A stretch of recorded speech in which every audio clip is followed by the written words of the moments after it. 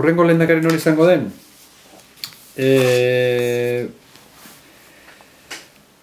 Nori izango den faktore, a ber, baldintza asko daude. e, lehenengo eta behin. E, Arrandotegi kalean baldin badago eta orkesteko aukera izango balu, nik esango nuke aukera handia daudela e, amaiur edo dena delako lehenengo indar politiko esateko. Mm?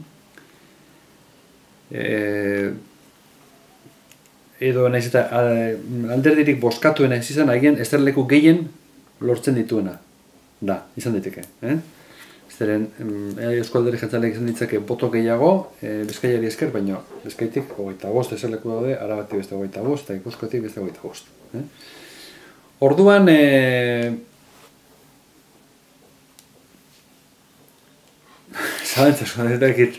Apostu. Eh, apostu. Gauza bada, nik zer nahiko nuken eta gauza gauza bada zer gerta daiteken. Ez?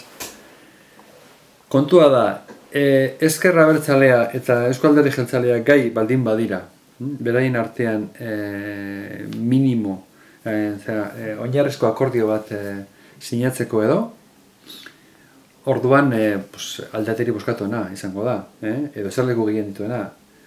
E, nik apostu ingo nuke, bera, ingo naiz. E, izan daiteke ezkerra bertzalekoa.